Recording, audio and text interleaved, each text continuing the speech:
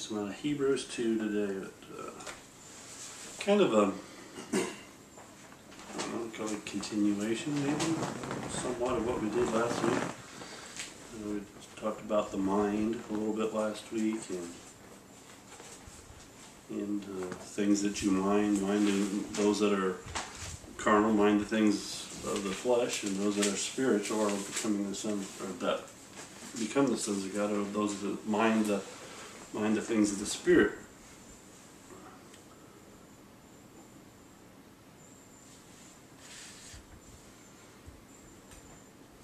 And kind of in conjunction, that 2 Corinthians 4 4 says, In whom he, the small g, God of this world, hath blinded the minds of them which believe not, lest the light of the glorious gospel of Christ, who is the image of God, should shine unto them. So there you go. You have the devil, who is the small g God of this world, hath blinded the minds. Thus they, thus they get the light. So it's very important that we get the light, that we experience the light, and that we look for the light. That's what you're getting your mind. But um, 2 Corinthians, that was 2 Corinthians 4 4, but we're going to he, uh, Hebrews 2 2. Did I tell you that? Hebrews Mhm. 2 2. Um, 2 2. 2 1.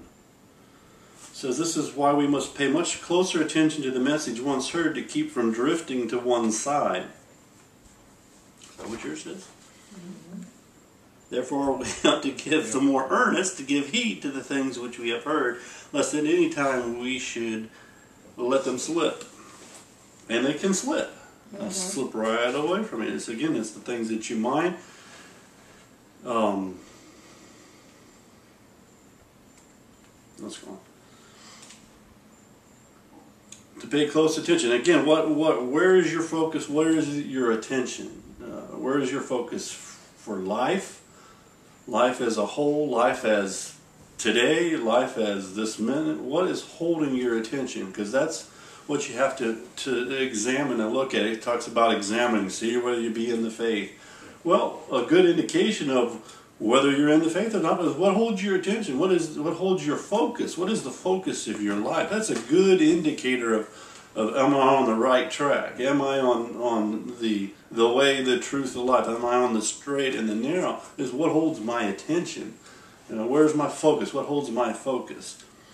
But he says here, uh, so we need to pay much closer to the, the message once heard to keep from drifting to one side. It says, For if the message spoken through angels proved to be valid and every violation and infraction of it had its adequate penalty, how can we escape if we pay no attention at all to a salvation that is so great? This is is so because it was first proclaimed by the Lord Himself, and it was proved to be. This is I want to get on down, so I'm going to just read through here. That was proved to us to be valid by the very men who heard it themselves, while God continued to confirm their testimony with signs, marvels, and various sorts of wonder works, and with the gifts of the Holy Spirit distributed in accordance with His will. For it, is, it was not to angels that He gave authority over that world to be of which we are speaking. For someone somewhere has solemnly said, and this is from Psalm, um, Psalm chapter 8, I believe he's quoting here. for what is man that you should think of him, or the Son of Man that you should care for him? You made him in, it says, this translation says inferior, but the, your translation says a little lower than the angels for a little while.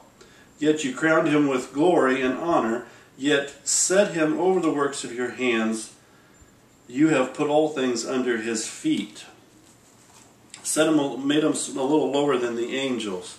Now, some say this is Christ, and at one point it does speak of Christ, but also of man. You think of our existence today in this world. We talked about, you know, 2 Corinthians 4 4 says that Satan is the small g God of this world.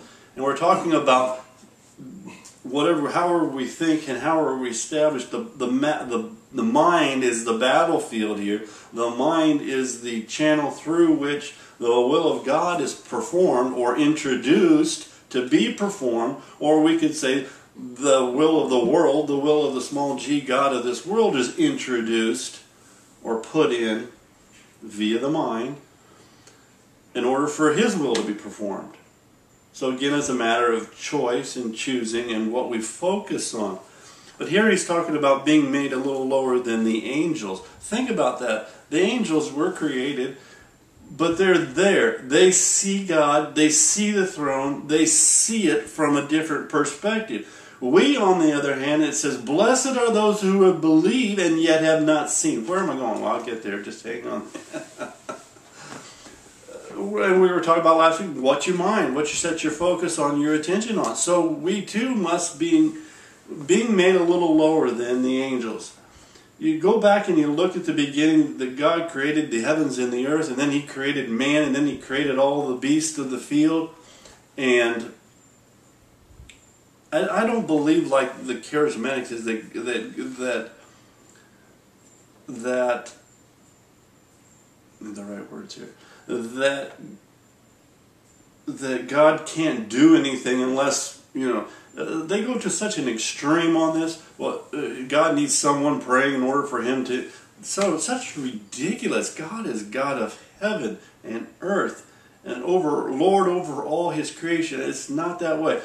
But there, there is an element of truth here as far as authority, as far as the way God has set up this universe to work, set up this planet, set up the world, how it works. And there is somewhat of an order to things. God is not chaotic in anything he does or says or what he has established. Nevertheless, he has established a pattern of authority set up in this earth, the higher, so on and so forth. And but it's not. I want to just preface this. What I'm saying is not what they say. Is not that God needs someone here in order to to be able to do anything. No, that is not true. That would be pretty flimsy uh, setup or limiting. very limiting thing, and that's not what it is. So I think we, it, at some point someone has to say that that's not what it is, because there are a lot of people out there that think that you know God can't, he's got to have the intercessors and this and that, and these people here doing this and that, and all this in order for him, his will to be accomplished. I'm sorry. It said before we ever knew him, he, he predestinated. Before we ever knew him, he set in motion these things. God created the heavens and the earth. He didn't need someone down here. There was no one down here. And so, you know, we do, I just want to preference this today, uh, saying that that's not what I'm saying. That, but nevertheless, God has established authorities and powers and actions that take place, and authorities, and there's nothing chaotic about the kingdom of God and the will of God. It's just not left up to chance or, you know, chaos. There is a plan. There is a purpose. There is a thing that God the will of God and, and His purpose in the earth and His purpose for creating man and His purpose for everything that happens. And yet we get to choose, don't we? That's the marvelous thing about it. God, he, and, but it says here we're made a little lower than the angels. Think about that a little bit. They see God. It says, "Blessed is he that who is who believes and yet has not seen." In the sense of, have you seen God with your physical eyes? Have you seen Jesus with your physical eyes? You, I mean, how many years ago did he walk the, the face of the earth? Now, granted, there are some, Paul, that have the uh, on the road to Damascus that sees the light, that sees, you know, there are always those exceptions out there. But for the, the general populace, it's blessed are those who, who believe and yet have not seen. Why am I saying that? Well, because I will get to it. We're made a little lower than the angels. And yet, what great responsibility and opportunity we have believing and yet not having seen. In other words, not having originated in the spiritual realm, in the in the heavenlies, and yet we're born onto this earth, and you know we are that. We you know we believe, but yet we have not seen. In the sense, we experience His love, we feel His love, we feel His presence in in his his change and his stirring in our lives. And yet, have you seen with this eye? So in that sense,